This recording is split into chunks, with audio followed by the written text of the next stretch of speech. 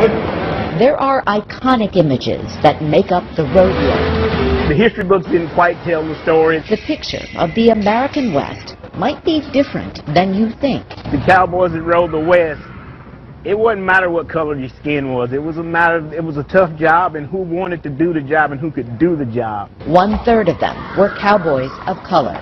African American, Native American, and Hispanic.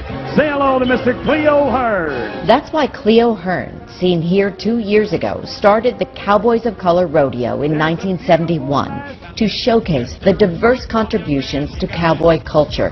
No more fitting day to have it than on MLK Day. And that's what we kind of need to embrace is that we all have to work together to get through where we're going today. He cannot hear a word we're saying. The Cowboys of Color Rodeo has been at the Fort Worth Stock Show and Rodeo for 12 years. This year, more than 200 top rodeo athletes competed.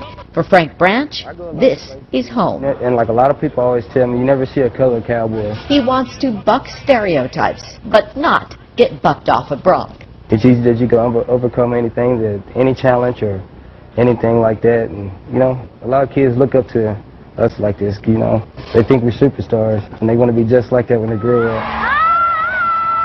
Because if you can see it, you can be it. This isn't about what color you are. This is about us all being together, working together for one common goal. To find your spot in Western history. We need to